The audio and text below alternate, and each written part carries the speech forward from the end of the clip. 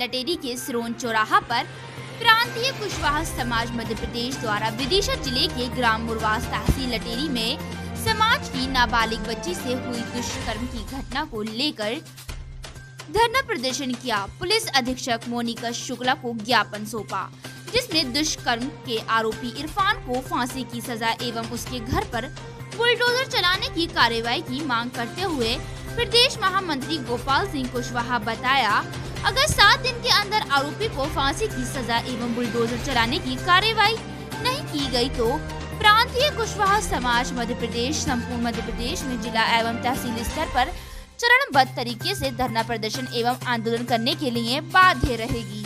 युवा मोर्चा नगर मंडल भाजपा के अध्यक्ष श्री अमित कुशवाहा ने बताया, पीड़िता के परिवार को रुपए एक करोड़ की आर्थिक सहायता दी जाए। ज्ञापन देने वालों में बबलेज कुशवाहा संभागी उपाध्यक्ष पत्रकार पवन कुशवाहा बसंत कुशवाहा संजीव कुशवाहा जावती अनिल कुशवाहा प्रकाश कुशवाहा लटेरी रवि कुशवाहा एवं पूर्व कार्यकारी प्रदेश अध्यक्ष हेमंत कुशवाहा गुना सहित बड़ी संख्या में समाज बंधु उपस्थित रहे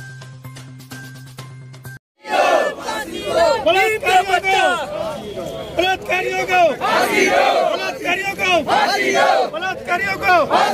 बलात्कारियों को। बुल्डर चलाओ बलात्कारियों के घर पे। बलात्कारियों घर पे बुल्डर चलाओ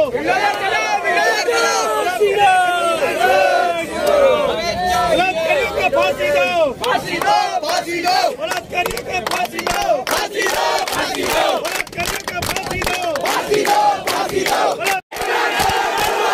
गरीब का बच्चा करवा है हमें चाहिए हमें चाहिए बस बचाइए कौन के घर कौन के घर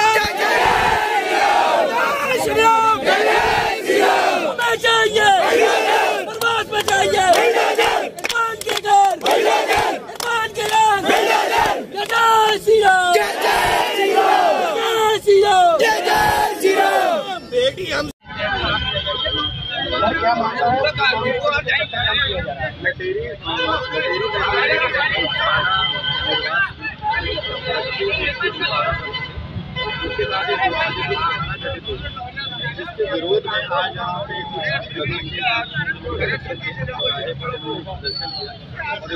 कार्रवाई करने उस आरोपी पे दर्ज हो गई है वो अरेस्ट हो गया और उसके आगे भी प्रशासन।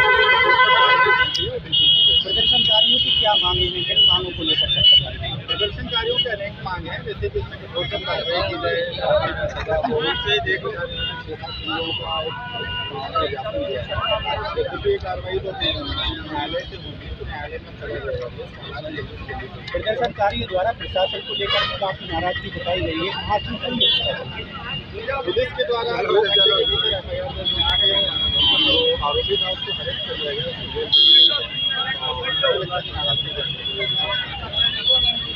रखिए देश के हर शहर हर गाँव, हर कस्बे की खबर पर नज़र सिर्फ़ और सिर्फ़ राष्ट्र आजकल न्यूज़ चैनल पर।